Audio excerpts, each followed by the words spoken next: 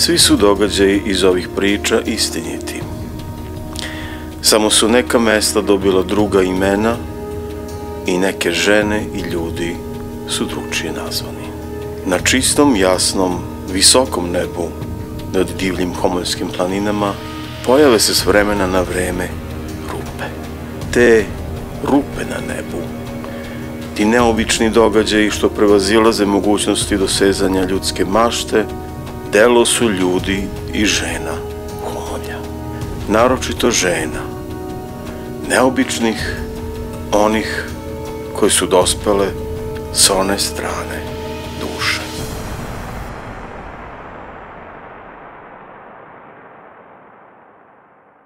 Serafina i Volica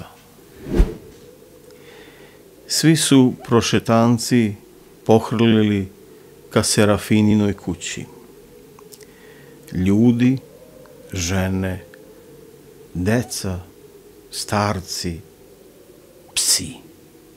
Okupljali su se pred kućom, prvom na onom kraju sela iz koga se u prošetanje stiže iz Žagubice. Susedi su se načičkali na kapije, okačili na mokre tarabe njihovih dvorišta, žene se isturile kroz širom otvorene prozore. Svi su radoznalo i uplašeno gledali u otvorena vrata, kroz koja se ulazi u Serafinin dom, okričan žuto-zeleno. Boja praziluka, ukrašen limenom čipkom po ivicama što odvajaju krov od zidanog dela i pružaju se od ugla do ugla na sve četiri strane zgrade. Krajevi se tačno na sredini fasade spajaju u vrlo složenu čvornovatu mašnu, na kojoj stoje dva limena goluba, okrenuti jedan drugom i ljube se. Iz šest prozora, poređanih jedan do drugog, ispred tkanih zavesa, kao u izlozima.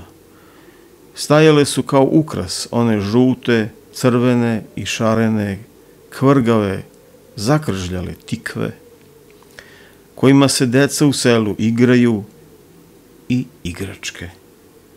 Lutka, mali porculanski pas, zemljana patka pištaljka i kamion sa oznakom štok kupljen s keksom još pre rata, sigurno u vreme kad je Volica bila dete. I jedan mali, šareni doboš.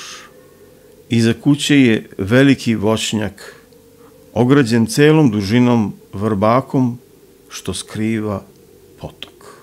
Kuću je od seoskog puta odvajao mali jarak i drveni plot – Tako da je čovek s puta, koji bi načinio samo tri koraka i popeo se na tri, četiri stepenice, mogao da uđe unutra.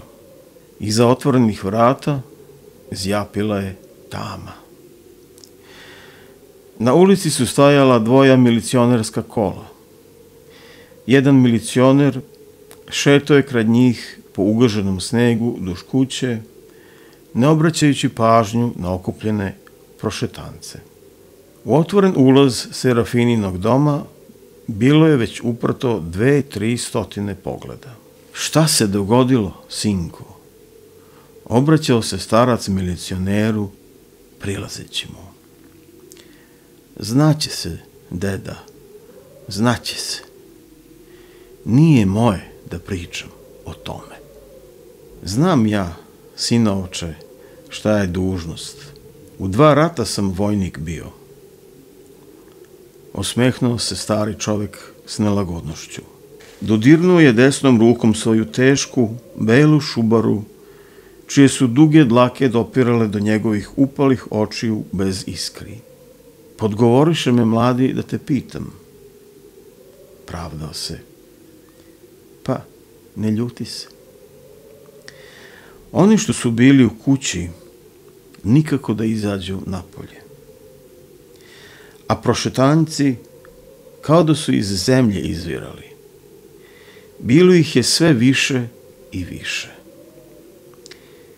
Sneg je bio sve ugaženiji od cupkanja mnogih stopala, promrzlih od dugog stajanja u mestu. U ugaženom snegu, pod kojim se nazirala zemlja, stajali su tragovi od opanaka svinskih i gumenih, od vojničkih cokula. Bez obzira na to kakva je obuća bila, sati na snegu i pored vunenih čarapa i vezenih nazulica činili su da se prozeble noge gotovo ne osjećaju. Nestrpljenje seljaka je raslo. Neke žene su se dosetile da milicioneru pošalju devojčicu da ona pita šta je bilo. Milicioner se nasmeo kad mu se petogodišnje dete obratilo na vlaškom jeziku. Nije razumeo, ali je znao šta ga pita. Pružio ruku da ga pomiluje po rumenim obrazima iz kojih se drsko pomaljao prćasti nosić. Ali mu se valjda ovaj gest učinio neslužbenim, pa je brzo povukao ruku i zavukao je duboko u džep šinjela. Zacakliše se oči devojčice kao dva nova, plava, klikera staklenca. Psi i poneka mačka provlačili su se između hladnih nogu posmatrača, nestrpljivih, radoznalih i izbunjenih meštana. Milicije iz grada u prošetanju. Prvi put se od oslobođenja dogodilo. Pre rata su dolazili žandari zbog hajdučije i atakovanja. Za vreme rata dolazili su Nemci sa onim gvozdenim kiflama na grudima i sa svojim psima. Ali narodna milicija iz grada sada, nekoliko godina od rata, e, to je zbilja bilo čudo. Odjednom se gomila ljudi poče da mreška. Otpoče jedno besumočno guranje ka Serafininoj kući. Izlaze, izlaze, izlaze. Čulo se iz skupa. Na širom otvorenim vratima prvo se ukazala milicionerska uniforma. Za njom Serafina, uspravna i stroga. Pa čerka joj volica – pa opet milicioner, pa jedan mlad čovek u civilnom modelu.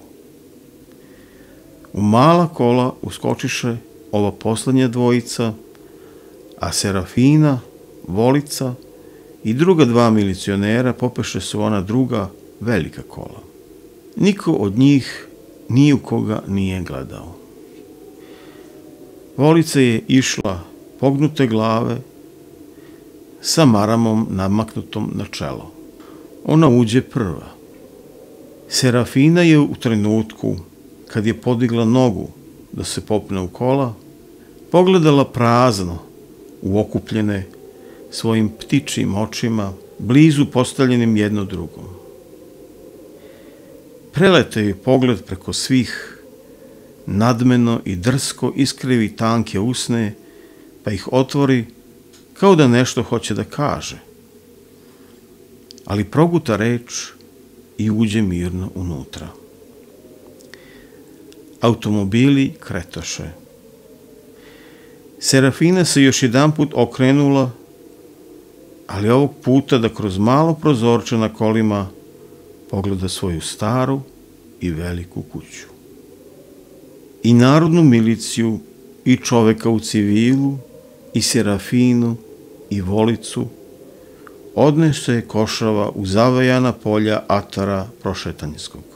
Za njima su ostale duboke prazde sa šarama od automobilskih guma i brujenje motora. Svi su još stajali i gledali u pravcu otišlih. Čekali su na nešto što će se još dogoditi. Tek kad su ugledali na ulazu Serafinine kuće Serafininu pogrbljenu, hromu i staru majku, kako zaključava vrata i proverava nekoliko puta da li su dobro zaključana, seljaci počeše da se razilaze. Oni što su stajali još, mogli su da vide kad starica smače maramu sa glave, stavi svoje isušene šake na proređenu sedu kosu i kad zakuka bolno, neljudski, ne izgovarajući reči, kao ranjena vučica.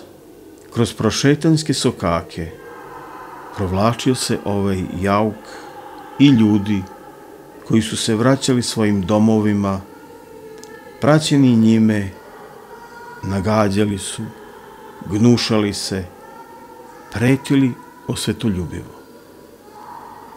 Satima je s košavom kroz selo hujelo i ono staričino. Joj.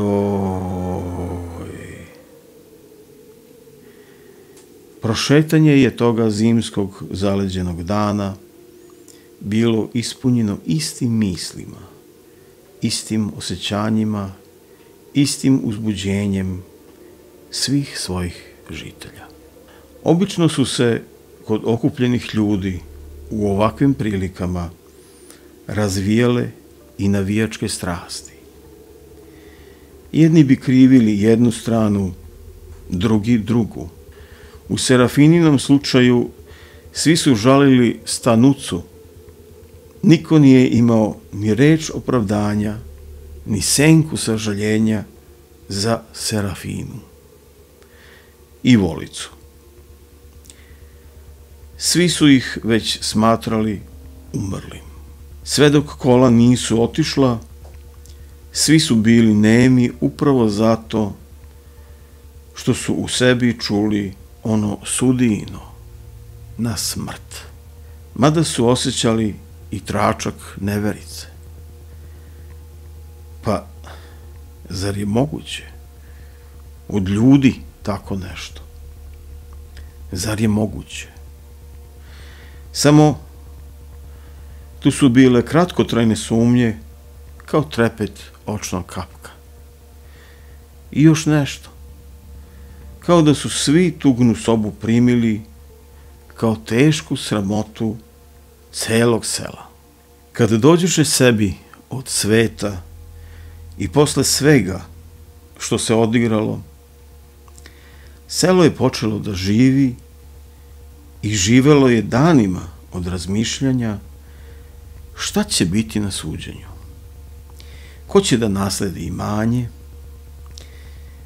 ko će da bude svedok i ono što im je najviše izazivalo znatiželju, kako je zločin otkriven posle dve godine i ko ih je prijavio. Svako je imao svoje mišljenje. A onda dok su bili okupljeni i čekali da se Serafina i ostali pojave na otvorenim vratima njene kuće, da se jedan od njih našao da vikne ubice, svi bi povikali to isto. Da je jedan pokušao da ih kamenuje, svi bi. Serafinin otac bio je jedan od najbogatijih ljudi u selu, a deda kažu da je bio još bogatiji. Kulaci su to bili. Teški kulaci. Jovan, Serafinin otac i žena mu izrodiše silnu decu, ali nijedno nije poživelo više od šest meseci. Osim Živka. A i taj je bio nekako santaludast i mimo sveta. Osnovnu školu zna se kako je završio. Kažu da se učitelj Kosta obogatio pre rata na njemu. Živko je zamuckivao kad govori, prekidao rečenicu, zagrcinjavao se. Jednom okom mu je ponekad nekontrolisano i prazno gledalo ko zna gde, nezavisno od drugog oka i ne po njegovoj želji. Ni s kim nije govorio. S decom se nije igrao. Nije ni umeo da se igra. A tukao se tako da su ga se sva seoska deca klonila. U desnom uvetu Živko je nosio crvenu minđušu koju stavljaju muškoj deci u uvo da se održe u životu. A kad u jednoj kući deca umiru, tako, redom, onda se poslednjem detetu daje ime Živko ili Živka. Ali i pored svega toga, uoči svoje svadbe, u 15. godini Živko se razbole i umre. Serafina se rodila godinu dana posle njegove smrti. I doživela je i da se uda, i volicu da rodi, i u zatvor da ode, i da još živi. Jovan je doveo zeta u kuću muža za Serafinu. Siromašan je, ali je odličan radnik. Govorio je Jovan. Hvalio se time po selu. Častio je celo selo kad mu se unuka rodila, što je bilo za sve neobično. Čašćavalo se kad se muško dete rodi, naslednik. Još dok je volica bila mala, birao je kuću iz koje će momka za nju da uzme, a ona porasla u kršnu devojku. duše, šaputalo se po selu da volica ima padaću bolest ili svetu bolest, kako su to zvali. Čak su neki tvrdili da su je videli kako se grči po podu, sva modra, i kako joj bale teku iz usta, Bože me oprosti kao besnoj kuji. Ali godine prođoše, a u Jovanovu kuću se mrtvački sanduk ne unese. Sve do pre nekoliko godina, kada se i bogati Jovan predstavi. Serafina Stanucević, rođena 1915. godine, od oca Jovana i majke Seferinke, sada oboje pokojnih, udova, majka jednog deteta, onako pismena. Jes, jes. U prošetanju rođena. Davale podatke o sebi i Serafina. Govorila je bez uzbuđenja, glasno, kao da se gluvima obraća. Samosvesna, drska, bezobzirno kriveći svoje tanka usta, što je delovalo kao osmeh i skoro veselo. Drugog sam ja momka volela, ali i on bio jedinac, pa nije mogao da ostavi roditeljsku kuću i da pređe kod nas. I u njih je imanje dosta veliko bilo. Poginuo je za vreme ovog rata, Bog da mu dušu prosti. Stanucu je u našu kuću doveo moj otac. Napravili smo svadbu kakvu selo dotle videlo nije. Od prve noći, kad lekoh sa stanucom pod guber, znala sam da ga nikad neću da zavolim, da vam pravo kažem. Ali se i navikoh na njega onakvog metiljavog. A što metiljav? Baš naočit čovjek bio. Dobar, pošten, zdrav. Dobac neko iz sudnice. Mir, začu se sudijin glas. Da je dobar radnik bio, bio je. To mu priznajem. A da je naučit bio, nije. Ja to najbolje znam. I to što je dobar radnik bio, bio je samo dok ne poče da pije. Nije on meni bio prilika. Prva sam devojka u selu bila. Najlepša, najbogatija, kao moja volica i lepša. Sudsko veće je ispitivački posmatralo Serafinu, pokušavajući da nađe bar neki vidljivi trag te velike lepote. A on sada kulje, kad se napije, da ti se život smuči. Povraća gde stigne. Tetura se kao da ga košava ljulja. i plače. Plače, plače. E, to me je njegovo plakanje dovodilo do besa. Plakao, pa svoju glavu isplakao. Eto. I ti ga svojim rukama ubi, Serafina. Ja? I ruka ti ne zadrhta. Ne. Pa što si onda za sve vreme istrage lagala, bacala krivicu na druge, govorila uvek drugčije? Što? Sad nemam kud. A onda? A zar se ti, sudija, ne bi tako branio? Sudija sleže ramenima i reče joj da priča dalje. Da shvati da je ona optužena za težak zločin i da se tom činjenicom uskladi svoje ponašanje. Kažem ja, volici, slušaj sine, ja ovoga tvoga oca ne mogu više da trpim. Ne mogu i to ti. Mrzim ga i gadi mi se od njega. Kao da mršu smrdljivu, crvljivu, raspadnutu vidim. Ne radi ništa. Nikaki koris od njega. Evo, već godinu dana kako smišljam šta ću i kako ću. Šta sam izvukla iz njega, izvukla sam. Sad ni za šta nije. Da se rastanemo pred sudom ne vredi. Po ovim sa danjim zakonima, što smo zajedno zaradili, treba da delimo na ravne časti. Polovinu bi nesrećna odnela. A to ja neću. Ću da sačuvam za tebe sve. Nego da ga ubijemo. Što jes, jes. Volica se usprotivi, ali joj ja polako, onako na tenane, sve po redu objasnih, da će sve njoj da ostane. Da će kad ja umrem da bude ona jedini gazda i Bog u kući. Moja volica počuta, počuta, pa reče. Dobro, ali ja da ga ubijem ili da gledam kad mu to radiš, da znaš, ne mogu. Tako mi baš reče. Dobro, dobro, rekoh ja volici. Tvoje je da ćutiš od sad pa do veka. Samo nas dve i više niko ništa da ne zna. Dovoljno je bilo slušati taj glas, čak i da se ne razumeju reči, pa opet osetiti odbojnost i sve ono što je posjedovala žena kojoj je taj glas pripadao. Glas drskosti i samosvesnosti. Bila je zima. Košava je zavijela ko gladni vuci. Volica i ja legle smo da spavamo, još se ni smrklo nije.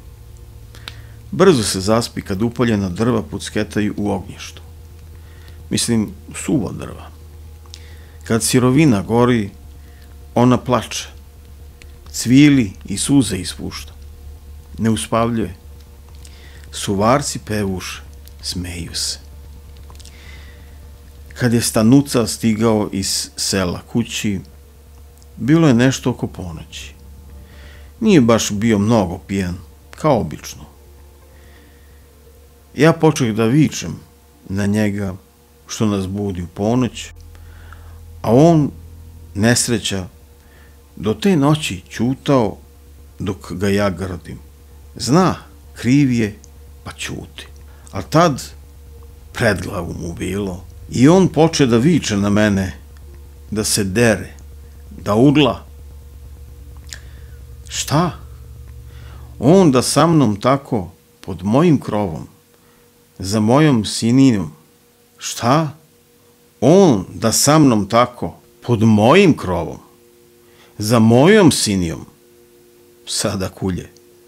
On, koga hranim tolike godine, mesto da mi se klanja i kapu skida, u najbogatiju kuću ušao, u prvu kuću u selu, on još viče. Kaže, zaradio je on za hranu, za stan, za njega i volicu i za mene i još mu ostalo. Kaže da je za kuću ko vo vuku. Još mi kaže da je prošlo naše vreme da kulaka više nema i da ih neće ni biti. Da će on uvek i svuda da zaradi sa svojih deset prstiju i da se pita šta ću ja da radim bez njega. Kaže mi da sam lenja krava, sipljiva kobila i da takvim neradnicima kao što sam ja u našem društvu nema mesta. Da ne mislim da će neko da mi radi na napolicu. Ovo je društvo bez sluga, ni napoličara nema više, da će on njegov deo u zadrugu. Koji deo? Povikah ja. Moj, reče on. On, sirotinja. Da pravo kažem, besna sam bila, ali se i iznenadih. Počeh i ja njemu svašta da govorim. Od naše vike više se nije čulo ko kome šta kaže. Ali čuh. Lepo čuh kako me uvredio. Rugobo mi je kazao. I niko te drugi nije hteo da uzme. To nije ni čudo, veli. Od pradedova ti krstovi u krvi plivaju.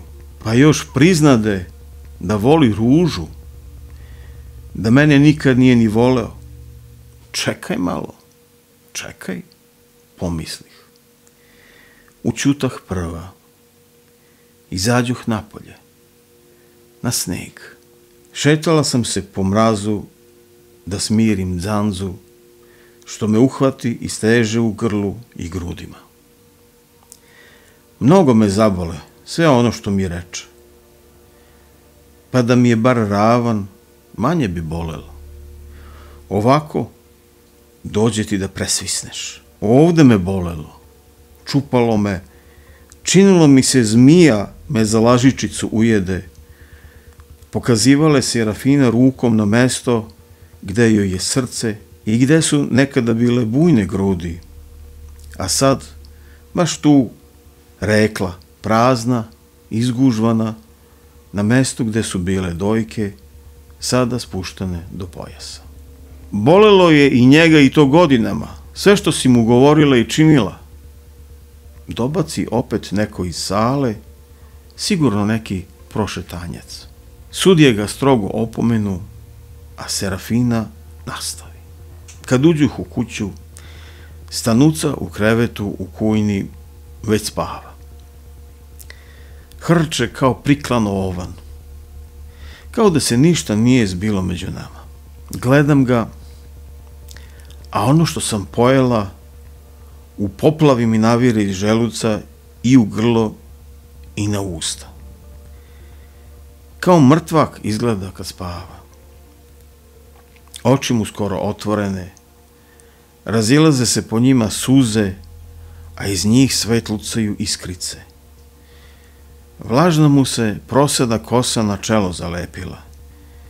Iz usta mu se bale slivaju kao besnari, teku s jedne i s druge strane naobrijane brade i neumivenog lica i sastaju se kod jabučice na vratu, koja samo što mu nije kožu probila, i tu se obe bale sastaju i prave potočić smrdljivi, što mu se u kolir od tkane košulje, što je moja mati tkala, crko da Bog da uliva.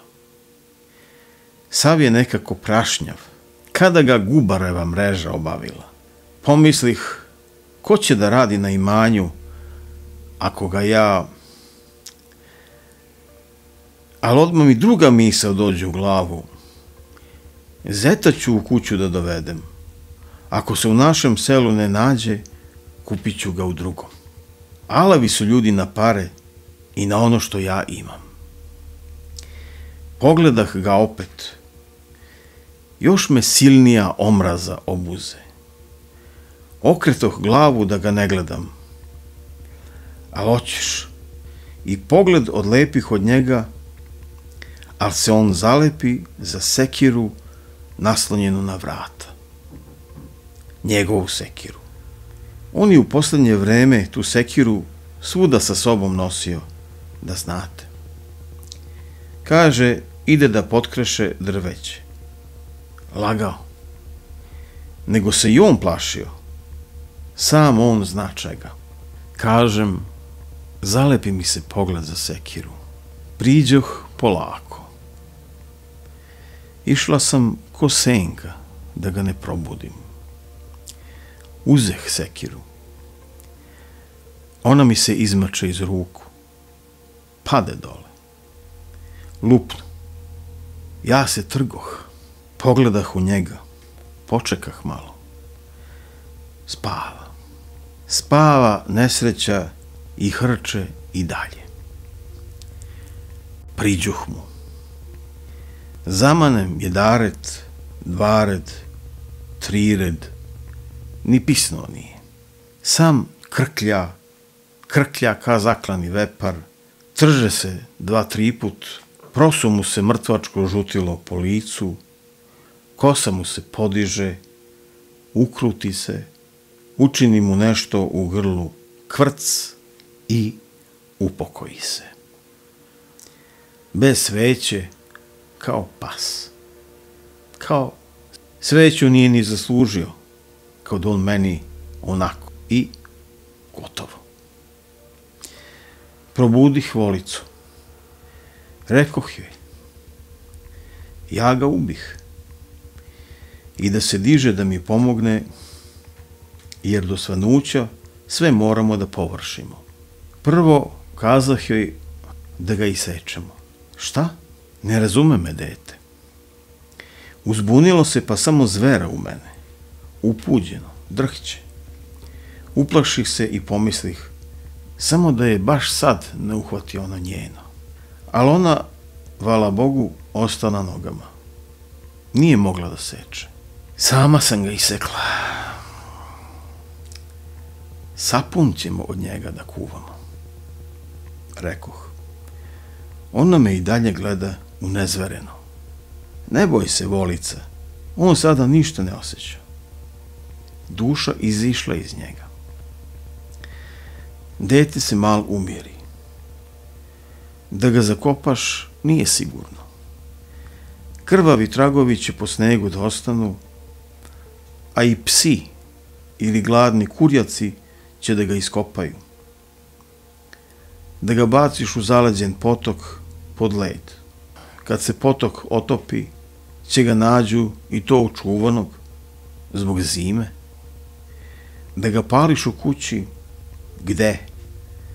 A i vetar će on u miru da raznese napolje. A po selu znaju kako pečeno ljudsko meso miriše. Još od onda, kad Nemci zapališe junakovu kuću, pa mu u kući mati i sestra izgoraše. I onda zima bila. Sapun od njega. Ništa drugo. Sapun, sapun, pa na tavan. Niko ništa neće da zna. Vidjet ćeš. I niko se neće da doseti. To se kod nas nije dogodilo. Ono, pričalo se za vreme rata da Nemci od dece ubijene jevrejske i ciganske sapun kuvaju. Isekoh ga na sitne parčiće. Toko, pa tako, pokazao svoj desni glad, skupljenih prstiju i levom rukom počeo udara po njemu kao da seče satarom. Zavih sve u šatorsko krilo, što mi stanuca u miraz doneo, dobro mi došlo, ne propušta krv. Još je bio mrak, kada ga Volica i ja dovuko smo u voćnjak iza kuće. Volica založi vatru, spremi kazan i živu sodu, ja ga ubacih u kazan, a šatorsko krilo u vatru. Jes, jes, grozno izgledala glava, šake i stopala, ali ja to gurnuh na dno. Sakrih nekako da volica ne gleda. Ja da vam pravo kažem, to ni ja nisam mogla da gledam. I to da vam kažem, i sad kad pomislim na stanucu, vidim u glavu od trupa odvojenu sa očima i ustima otvorenim i kosom od kamene sode izgorelom, a uši mu se već skuvale. Eh, zar je za vreme rata malo bilo glava od tupa odvojenih? I to kakvih glava? I učenih, i mladih, i lepih, za stanucinu glavu, ma šta je ona vredela? Ali, sudija, sudija, Volica mi živa bila, očiju mi mojih, ni kilo sapuna nisam prodala. Zavapi na kraju Serafina. Počeka malo, pa onim istim nadmoćnim glasom nastavi. Svima smo po selu pričale, i ja i Volica, da je Stanuca toga dana otišao od nas i da nam je kazao da je našao zaposlenje u Požarevcu i da će tamo da radi i da ne misli da se vraća kući i da će preko suda da traži ono što mu pripada. Tako se nas dve dogovorismo. I da vidiš čuda, svi su nam poverovali. Dve godine tako. Niko nije pitao za stanucu, samo ponekad, poneko, onako malo za inat, a malo radopitljivo priupitam. Javlja li se stanuca?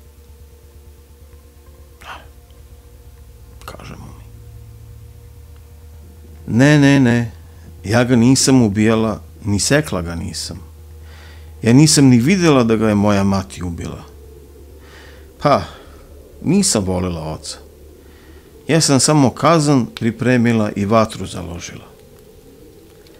Počela sam, ali nisam mogla da mešam sodu živu, vodu i očevo meso, da sapun ne zagori dok se kuva. Nisam. Verujte mi. Eto, pitajte moju mater, ako mi ne verujete, uplašila sam se. Uplašila sam se kad je majka rekla, Bože, ova njegova glava skače po kazanu dok ovog ključa. Samo što ne rovne. Kao da još krklja i grgori. Spopao me načuveni strah, pa sam prestala da mešam. Mati je glavu, ruke i stopala na dno kazana gurnula. I ona nije mogla da gleda. Dasku nije gurala do dna. Zagoreć, rekla je. Zagoreće, ali bolje i da zagori malo, nego da još jednom tu glavu vidim. Verujte mi, molim vas. Pečenu mater jela da Bog da ako lažem. I psa nisam dala da mati ubije, a pas je tri dana i tri noći zavijao. Niti je hteo da jede, niti vodu da pije. Rekla sam majici, nemoj mati, nemoj psa da truješ. Živa duša, mamice. Nemoj Ževinče da ubiješ. I njega boli. I čuva nas, mati. Posluša me Serafina. Voliš li svoju majku, volice? Zapita sudija devojku. Što da je volim? Nije momak pa da je volim. Gledali iznenađeno, široko otvorenih oči u sudiju. A onda, da bi se opravdala, dopuni sebe. Ali potrebna mi je. Ako je osudite na smrt, šta će biti sa mnom? Umreću i ja, da znate. Ja to ne bih htela. Ja sebe mnogo volim. A koji pa čovek ne voli najviše sebe? Šta će s nama biti? Šta? Kažite mi, sudija, molim vas, muči me ovo, što ne znam šta će biti. Prepući ću. Volica je gotovo vrištala, užasnuta od svih pogleda uperenih u nju. Užasnuta svim u sali, grozeći se grozom koja je ispunjavala sve prisutne. Izazivala je gnušanje i gađanje, čak i nekakvo pritajeno sažaljenje. Bila je zbunjena, rasturena, bezosećajna. Kao da nije ljudski stvor stajao pred sudskim većem. Svi prošetanjci, svedoci, govorili su o Stanuci kao o dobrom i vrednom čoveku. Poštenom i drugaru, rekli su da je bio mučenik u Serafininoj kući. Da se nikom nije žalio, ali da su svi u selu znali kako mu je. Dok je Jovan bio živ, išlo je nekako. Ali od Jovanove smrti Stanuca poče da pije a niko ne pije zato što je žedan. Da je žedan, vodu bi pio. Nego muke nateraju čoveka na piće, ništa drugo. Zbog njih dve se propio. Zbog Serafine naročito. neće se naći prošetanac koji će o njoj lepu reč da kaže. Evo, Volica je prešla 20. godinu i još je neudata. Nijedan momak neće u njihovu kuću. Plaša ih se. Neće i pored svih njihovih vraćanja i bajanja. Naši momci više ne veruju u to.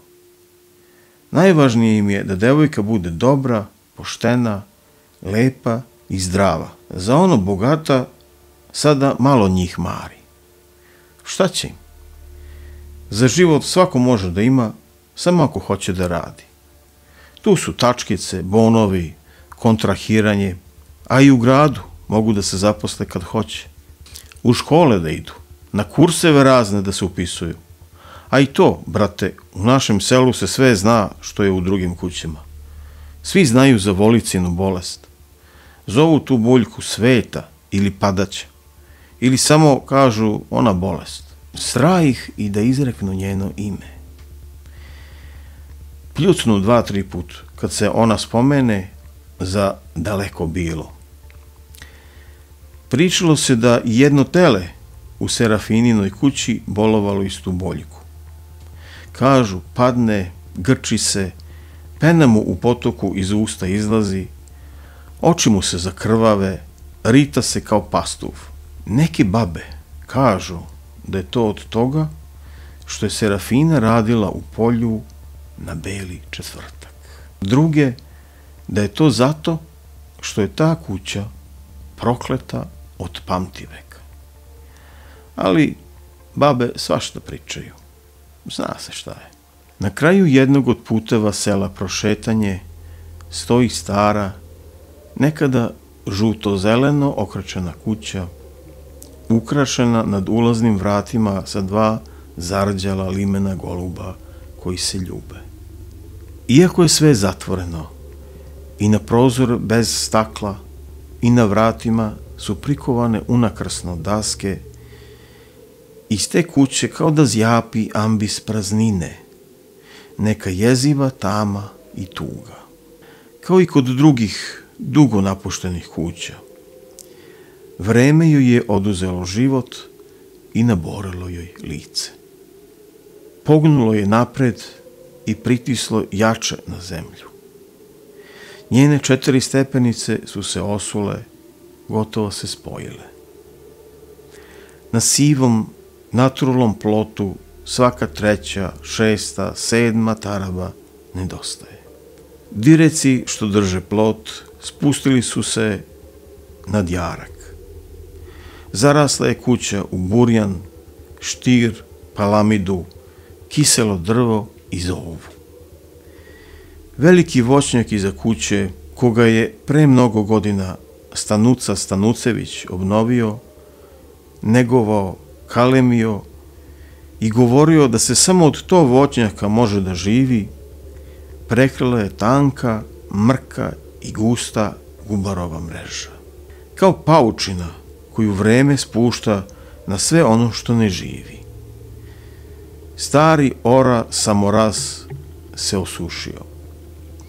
Izgleda kao veliki, nagoreli ljudski kostur. Strče mu crne i krte grane bez jednog lista. I potok iza vrbaka što ograđuje ovo ukleto dvorište ne podsjeća više na srebrni sjajan pojas što svetluca i opasuje zelenilo voćnjaka. Umrtvio se, zamutio, zaudara. U njemu pacovi, veliki kao mačke, dugorepi i sitnooki, orgijaju i danju i noću. Sav je bljutav od žabokrečine i mrše koju seljaci tu u njega, baš na tom mestu bacaju. I više se ne skriva iza gustog vrbaka. Naprotiv, ovakav mrtav, mutan i smrdljiv daleko više pada u oči nego ranije. Tako leti u proleće i u jesen. A zimi? Zimi su napuštene kuće još žalosnije. Ova Serafinina naročito, jer je velika i prva je na ulazu u selo. Stoji tu kao upozorenje da se u toj kući, u tom selu, nekada dogodilo nešto strašno i da su u njoj stanovali ljudi koji to nisu bili u pravom smislu reči. Novi asfaltni put je dvadesetak metara daleko od kuće. Prvi susedi su isto toliko udaljeni. Pred njenim licem je široko polje, iza mračan zapušteni voćnjak. Sve je sivo i belo i zaleđeno. Kad košava zazviždi svoju dugu pesmu od jednog, tri, sedam ili dvadeset jedan dan, učiniti se da tu pred tom kućom, na samom početku sela, gladni kurjaci zavijaju. Zjapi zatvorena pusta kuća. Zjapi kao ambis na trestu. Serafina je valjda još živa, na robiji, doživotnoj. Niko je ne posećuje, niko ni jedan jedini put nije zapitao za nju. Izaći će odavde onoga dana kad umre, u mrtvačkom sanduku od čamovine, bez pokrova, bez sveća i bez cveća. Odneće kamionom na onaj deo groblja predviđenom za osuđenike. Na kome je volica, evo, više od dve decenije sahranjena. Devojka ne sastavi ni godinu dana u zatvoru. Razbole se. Lekari rekoše da je to neka duga, neizlečiva bolest bila. Serafininoj majci Seferinki, dobroj i tihoj ženi koja nije živela u velikoj kući u prošetanju, u zajednici sa Serafinom i Volicom, već u kućici u kojoj se rodila, na drugom kraju sela, pod brdom šćućurenoj, rekoše prošetanjci, prepuklo je srce nekako ubrzo po Serafininom i Volicinom hapšenju. Presvisla mučenica.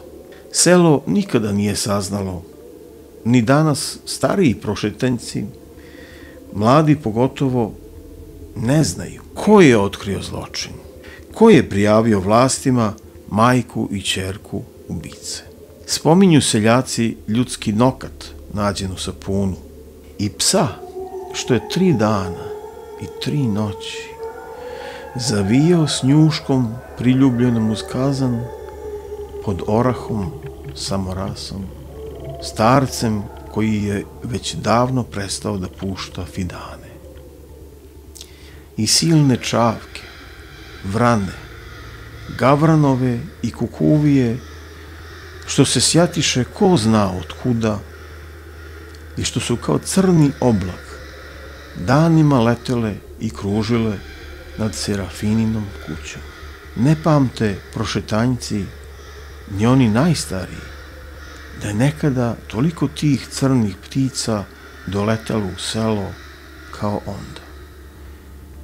Sve se orilo od njihovog graktanja i sve se živo dok nisu otišle bilo ispunilo nekakvom zlom slutnjom. Ali naspram Serafinine i Voličine glave bilo. I neka je.